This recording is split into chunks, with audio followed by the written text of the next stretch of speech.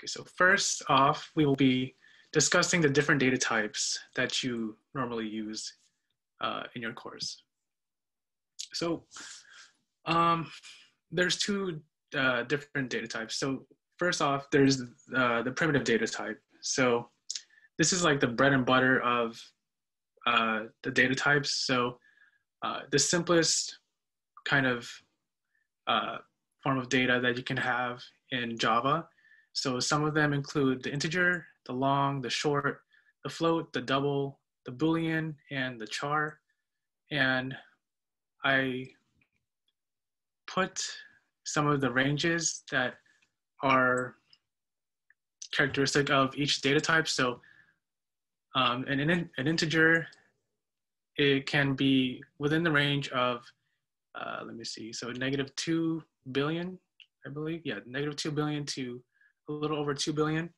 So say, for example, you try to assign an, an integer value or, or an integer value for a variable x, and it was 2 billion, 147 million, 483,000, and 648, it would be, it would not be able to run. The program would not be able to run. Um, and the same goes for the long, the short. Um, I was not able to uh, print out the values for float or double because those values are very, very large. Um, but apart from that, uh, the Boolean has true or false as its uh, range of values. Um, and continuing on,